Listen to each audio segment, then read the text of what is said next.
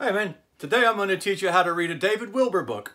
First, get your Bible and a notebook, and then throw those away. David Wilber books have nothing to do with the Bible or scholarship. Screw the David Wilber book to a post. And then shoot the David Wilber book with a shotgun. Now it's as wholly literally as it is figuratively. But by no means is it by any stretch of the imagination wholly spiritually. And then put the David Wilber book in a five gallon bucket. And then fill the bucket with gasoline.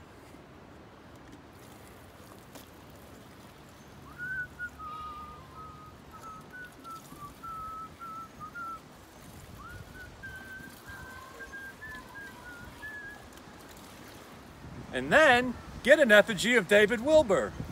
Here's a little pro tip for you folks at home that want to go for that extra little bit of realism.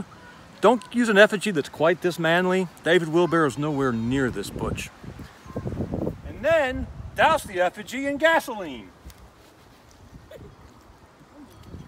Then light the effigy on fire.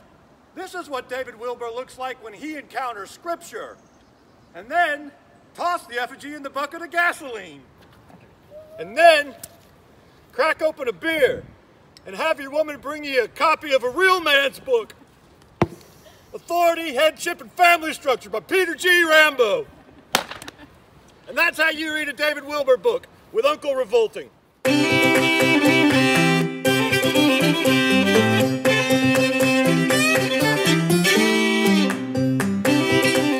Yeah. Whoa, crap. I'm going.